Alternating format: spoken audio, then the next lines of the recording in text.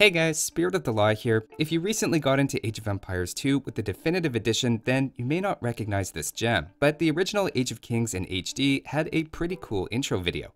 It's two lords or kings playing chess with each other, with the boomer playing the white pieces and the millennial playing the black pieces. Of course, millennial in this context is referring to the turn of the second millennium AD.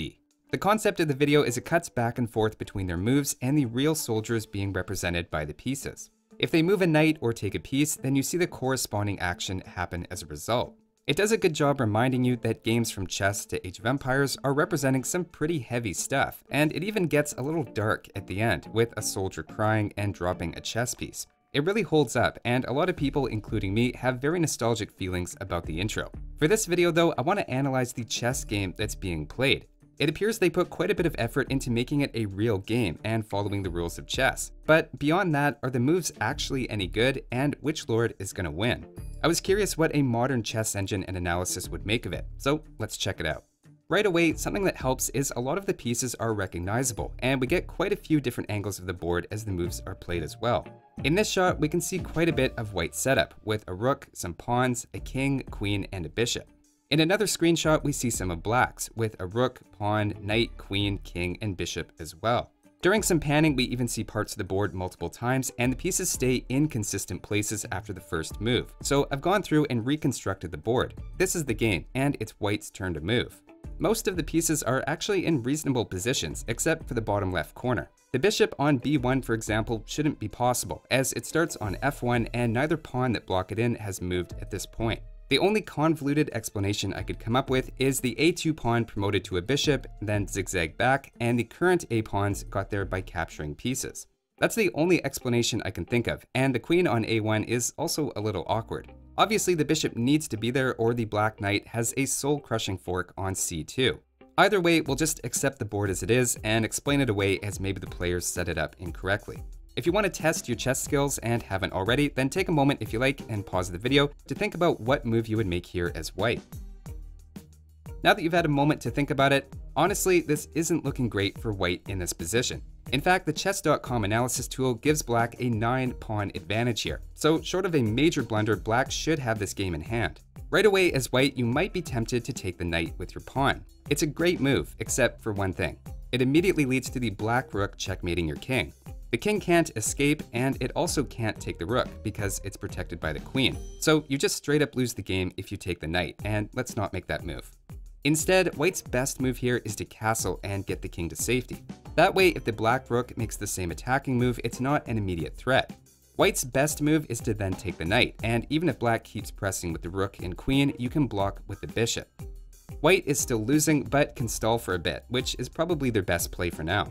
Another idea that might look promising but isn't all that great is to block with the bishop, as it's protected by the queen, and it even opens up a new flight square for the king to escape to. The problem is, if you follow it through, you're giving up the bishop for free or losing your queen and a bishop for a rook. So again, castling is definitely the best move. Now that said, castling as a rule wasn't widely adopted in Western Europe until the 1600s, so given the time period that may not have been an option here, in which case white is in a lot of trouble.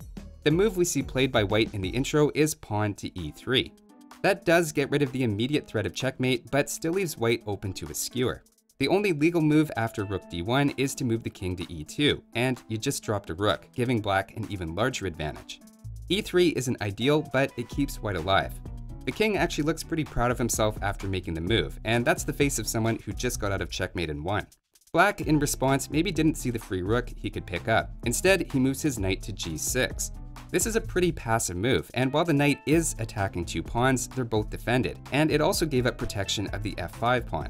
It doesn't seem to accomplish anything new, while meanwhile the b4 knight is still under threat. I could see someone realistically making this move though, maybe with an idea to get the bishop out and pile up on the h-pawn with a knight, bishop, and queen. It's a bad move, but kind of a realistic bad move at the same time. So with white to move, again, castling or taking the free knight would make the most sense, but instead the king plays pawn e4, again pushing the same pawn. The computer absolutely hates this move and says it's now checkmate in 5 for black. The line is rook to d1, where the king is forced to move now to e2, and then the queen comes down giving check. You can't take the queen because it's defended by the rook. Again, there's only one legal move for the king, and the queen now gives check again, this time defended by the knight, so the king has to run back, and you give another check with rook at d2. The king has two moves, and after either of them, the next move is checkmate. That's a pretty tricky line to see though, and probably the skewer and free rook would be the most common response from the average player. Now, white's idea with the pawn might be to pressure black's f-pawn and threaten the knight, and if the black pawn takes yours, then you can keep pushing toward the knight anyway, so now you have two different knights that you're attacking. Black's response to the pawn push is again incredibly passive. He moves the rook forward one square, maybe trying to protect his knight.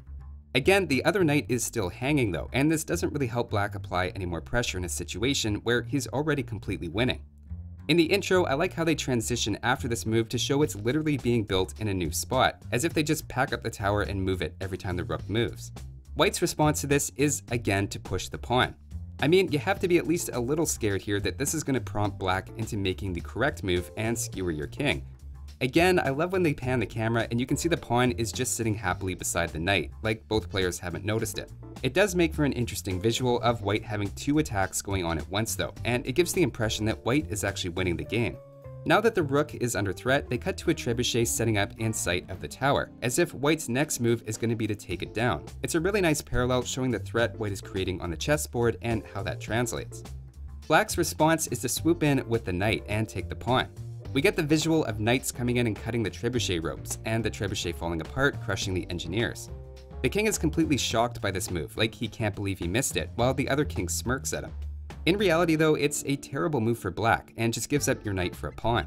White can just recapture and apply the exact same pressure again with the same two pieces under attack.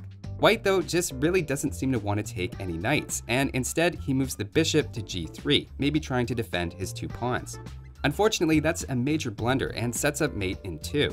With the rook coming down, the king now has two squares available, and either one leads to mate with queen d2 because now f3 is covered by the knight, so the game has turned into back and forth blunders. Instead of capitalizing on the obvious blunder, black responds with the aggressive-looking rook to d2, even shaking the board as it lands. Now it might look scary, but it doesn't actually put an immediate threat on white's king. At this point, both of black's knights are hanging, and you could even take with the queen to put black's king in check. If he does something silly like king to d7 and blocks the queen, white could then pick up the rook for free, and according to the computer analysis, white in this position would be winning. What we get instead though is white takes the rook with his king. Looking back at the position though, you actually can't take the rook as it's defended by the queen. That would be an illegal move, and theoretically depending on how strict they're being, could forfeit the game. It's kind of confusing as it seems up to this point the intro was following the rules of chess. That didn't sit right with me, so I did some research and it turns out the queen and bishop pieces in the Middle Ages acted differently and were a lot less powerful. Originally, the queen could only move one square diagonally, or two squares on its first move like a pawn. That'd be pretty impressive if whoever designed the game did enough research to create a move that would be illegal with modern chess rules, but legal during the time period the game was supposedly played. Some of the earlier moves actually make quite a bit more sense if you take the queens out of the game or pretend they can only move one square. Without a queen defending it, you can't do the skewer with the rook, or white would just take with his king, since there's nothing defending it. The moves made are still not the best ones, and the level of play is quite poor, but it explains why that particularly obvious move didn't happen.